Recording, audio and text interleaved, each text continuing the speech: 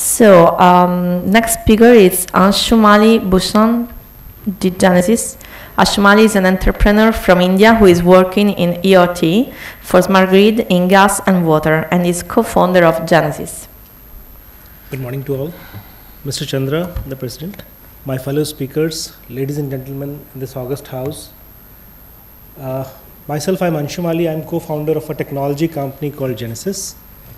Uh, we have uh, around a decade of experience, I mean, developing technology in India for uh, Indian utilities, Indian defense, and the whole journey has been full with products that have been developed based on the actual experiences of our customers, the problems that they had, the solutions that we could thought could solve those problems. So here I present to you our uh, two very recent, uh, you know, uh, last two years of development that we have done and uh, the road that has been crossed to work with uh, you know premium Navratna companies like IGL, especially in the area of gas, which is not only very sensitive but also explosive prone environment, and also in water, which we have recently started. So here, what we call ourselves from retro to futuristic. And here, the smart solutions that Genesis is developing right now is taking a view not only for India but also for the entire worldwide market, which is currently having a great installation base, base of old uh, technology, maybe ge metered, uh, geared meters or AMR compatible meters.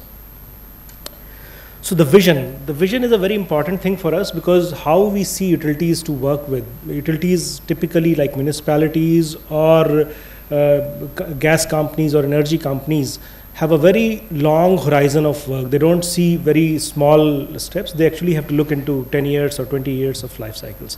So we look how that the how the utilities can realize their maximum investment. The return of investment has to be very very great, and at the same time, the level of smartness should also be the best in the whole game, and the need.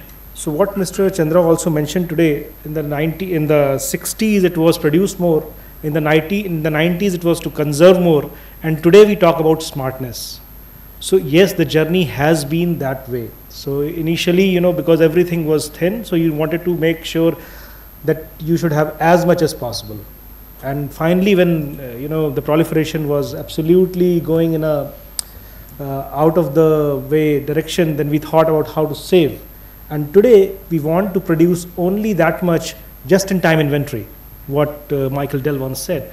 So that, that concept from computers has today come to all utilities, and that's what is smart. Just produce what you need, consume that, and make sure you don't waste any of the things. So this is the need and the vision that uh, Genesis set out with, and how we address the market. so first of all, any utility, the products that they buy is from a regulatory perspective. So everything that a company in technology or a service provider has to do has to do with all the regulations. So if a smart metering is the vision, so we have to move towards that vision with financial incentives that the municipality may provide or the consumer may decide. And the functional requirements have to be set by some of the government agencies or the functional uh, requirements can be set by the municipalities themselves which all requires how frequently you can read the meter. So that's, that's the basic data that would tell you that how much you actually require as a whole.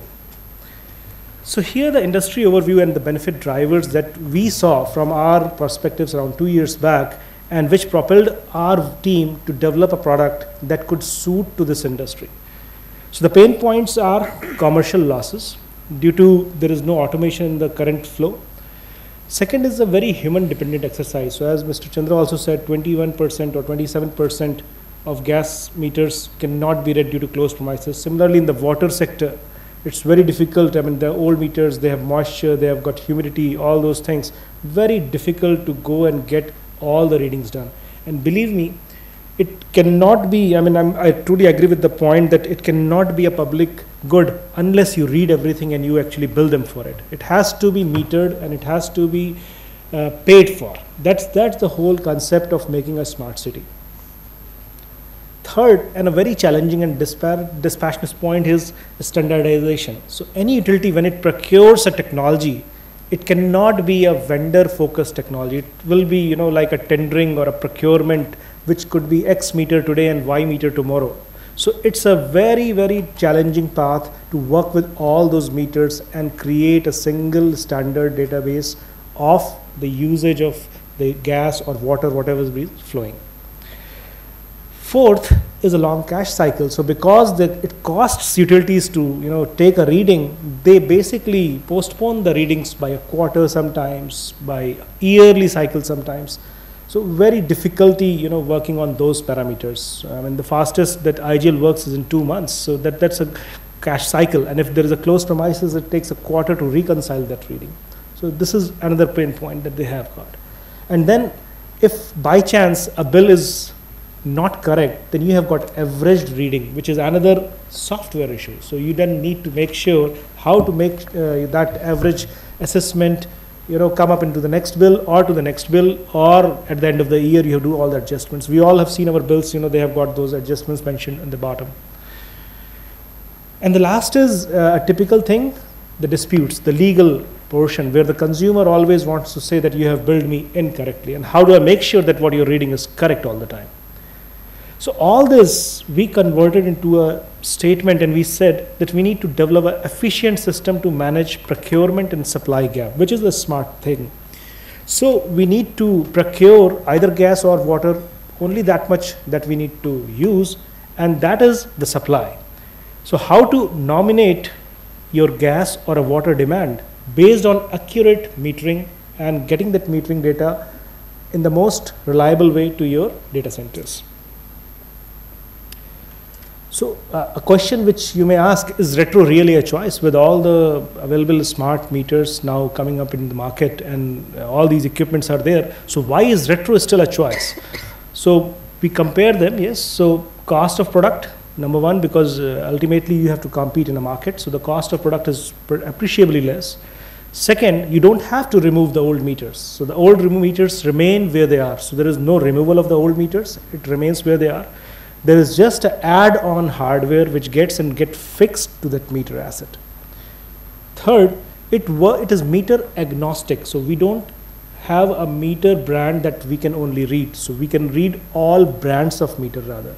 So it's a meter agnostic technology. Whatever we do has to work with the entire realm of metering space. Fifth, the backend that we develop, the cloud, the, the, the, the data where, where the data gets stored, has to be compliant not only with the oldest meter but also with the latest smart meters so that the utility when they invest into this kind of solution so not only they are able to convert all their existing meters into smart but when they procure new meters the same cloud should be able to serve their purpose. So these are the advantages you know which when you compare vis-a-vis with the smart meters that are available you can easily say why retro could be a choice so as we offer right now so the components of the solution, as I said, is typically the meters that you have got, either water or gas, and the cloud. So these are the two components that we are going to talk about. I'll just skip this. I mean, although this slide has got some additional features that uh, we have put in, especially in the area of gas, because gas also requires a lot of uh, alerts in terms of gas leaks. So additionally, additional to metering that we do, we also you know, give a sensory alert if there is a gas leak. So we have embedded gas gas leak sensors, all those into the meters as well, and a negligible cost of maintenance. So here is a small sample model that you know what uh, what a simple innovation can look like, and here you see, I mean, this is a simple gas meter which has been converted into a complete smart meter with a visual reading, with a smart reading, with the AMR reading, and you can fit it over all kinds of mechanical meters. You have the image of meter reading. You have the AMR reading if it is supported by the meter. You can have remote disconnects, meter data and image for monthly cycles as well as on demand. So in case there is a dispute, you can just switch on that particular address, that particular meter and read it on demand. And we work with RF and LoRa meshes and GPRS. So it's a complete solution. So this is a network diagram, you know, a simple deployment that we are doing currently in which you can see we are reading meters over a RF mesh or a LoRa mesh, bringing the data to the data concentrators and then switching the data over to the cloud which can be shared with the utility over a secure VPN and to the consumers over public internet. So in terms of components, uh, a bit of detail, I mean, it's a meter interface unit which is completely IP65 capable with AMR, with LED flash. So even if it is dark, it gets your reading there. And it's retro capable for most gas and water meters. Uh, and the data transfer unit, it works on RF and GSM. It has a battery backup of around nine years. So six to nine years, six years over GSM and nine years over uh, RF without replacing the dry cell. That's what we have uh, you know, achieved.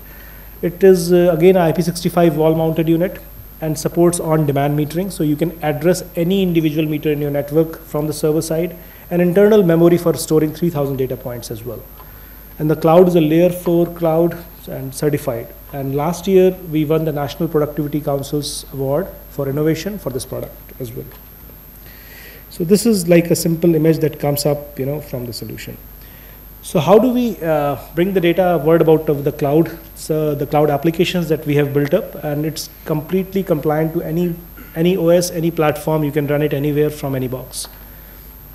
So there is a consumer serve self-service portal which can be accessed not only by the consumer but also by the corporate users. You log in, you see a particular consumer name, and then the last image date, meter serial number, reading date, and then there is a map view which can show exactly where the asset is and this map view goes into a very great detail. So once the utility management, they want to look at their high revenue loss areas, low revenue loss areas, and revenue gain areas, they can actually make a very good assessment just by looking at these maps. What are the areas that they're addressing? And then this is like the for a particular consumer, if he logs in, he sees all kinds of anal analytics of last month's usage, uh, one month back usage, all kind of usages are there with charges if a utility wants to see like the bill graph, how the it is faring, so all kind of analytics tools are built in. So this is real-time live monitoring. So if you want to address a single meter in case of a dispute or a challenge by a consumer, just log into his or her account and just take out the image at that instant of that meter and that fix that dispute. So a priority is you know address these concerns as quickly as possible so there is no legal hassle for the uh, I mean utility and then it is powered by analytics which is i mean what i say to all my customer partners that we work with like minimum after 24 months of operation you would have exact data of all festivals of all kinds of events that a particular indian or a, any household faces in a particular calendar cycle so in Holi, you would exactly know how much water you need. You would know exactly how much gas you need on Deepavali all these analytics will be available to you to nominate your purchases before that season or that time of the day comes. So this is uh, about installation. So it's pretty easy. I mean, you go to the place, you strap on the thing, you test it once, you note all the assets that are there, take a picture and get out of there. So that's once done and it's working now. So currently uh, we are running, uh, we are going to run a pilot with Inpress Gas for gas and with the JUSCO, we are uh, uh, aiming to do a pilot in April 2017 for the water meters. So that's pretty much about what we have done, and I'm open for any questions if you've got after this session. Thank you very much, ladies and gentlemen, for your time.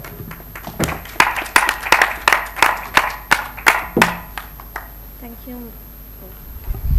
Thank you, Mr. Bhushan.